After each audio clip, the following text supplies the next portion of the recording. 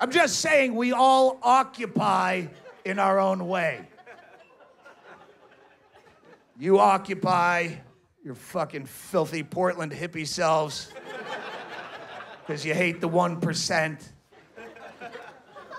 and you hate the banks because of their predatory lending practices against the people and enslave them in a lifetime of debt. What'd you do about it? You stunk up a park for almost a year. I occupy far more efficiently. Maybe you should look to me for leadership. I hate the banks as well, as we all do. How did I fuck them? I spent three hours jacking up mother's Chase Bank Visa card after she's dead up to its $10,000 limit, buying dumb shit that no one needs and sticking them with the bill because she had no estate except for that blind fucking last cat. If you want to repo that, have at it. That actually caused damage to the bank.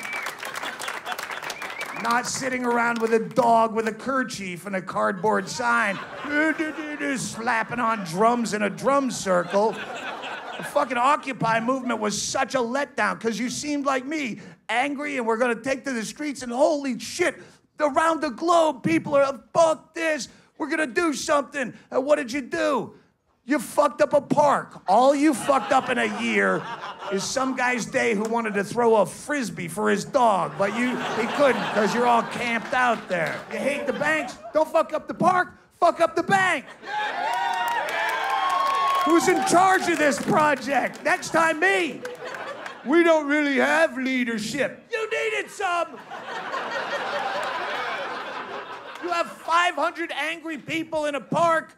Go break them up into squads of 20. You can fuck up every branch of Bank of America in a 50 mile radius. Go there. And not as anarchists either, throwing bricks through the windows. What are you, a fucking teenager? Have some ingenuity. You line up as customers at 8 o'clock in the morning. They only have two desks to do actual commerce other than cashing checks and shit.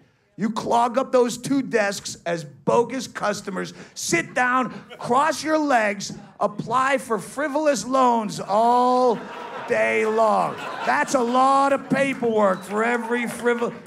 Yes, I need a billion dollars for an ant farm. Sharpen some pencils. That's a big stack of paperwork. I'd love some coffee. You comb your dreadlocks over to one side, put on your $3 Salvation Army suit, and you clog up all their time. Or you could deny me the right to apply for the loan, and then I sue the fuck out of you for discrimination, causing even more damage to your bottom line, rather than just sitting out there in a park getting tear gassed by cops. What does that do? What are you accomplishing? I got it on tape. Police abuse. Yeah, police abuse people. That's how it works. You're never gonna win. Yeah, well, you're gonna fight that, and uh, eventually they'll go, it was justified. I was laying there. I'm paralyzed. I was face down in the park. They tased me. Justified. Yeah.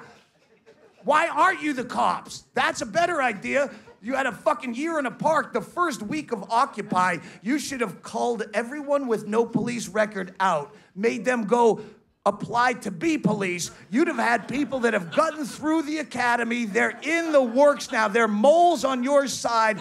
They're sitting in there in a riot helmet with a Bluetooth underneath the Star Wars helmet, calling you in the park, giving you heads ups. Hey Kevin, you might want to put on a gas mask around 7:45 a.m. You know what I'm saying? Thanks, Shane, but we're already wearing gas masks because we haven't showered in seven and a half months, and Angela's snatch is really starting to reek up the pup pen something ferocious. But keep fighting the good fight. Power to the people. Good Christ. You could have done so much with that. There's a fucking million ways you could have been clever. I, I, I, I love, that's why I love like WikiLeaks and anonymous because they're actually in there. They're fucking with the system. They're not sitting around chanting, slapping bongos. Bradley Manning didn't get to release all that information by sitting in a drum circle. He had to get inside. That's why you should fucking read up on Scientology, and I'm serious. Scientology is brilliant. If you read this book, Inside Scientology, it's a breakdown of how that evil motherfucker created that religion in a modern time. Every other religion people believe in, you only believe in it because all your ancestry did. This guy had to create this and sell it to adults recently. Yeah, uh, it's as stupid as any other religion, but how did he do it? How did he create this Leviathan? Read this book, Inside Scientology, and apply those evil tactics to Occupy, and you have a fucking winning recipe. You follow L. Ron Hubbard's intimidation, infiltration, harassment, blackmail, complete abuse of the legal system, where you just turn a crossed eye stink look at Scientology and they'll sue you into poverty. You use that for good. You know what L. Ron Hubbard didn't have in his master plan for world domination? Drum circle. It doesn't do anything. You're sitting there. Eh, eh, no one wants to hear that. It's annoying as shit. You had enough time in a year to learn how to play real instruments. You could have had a whole New Orleans style jazz swing band that people want to hear. Boom, boom, boom, boom. But instead, what?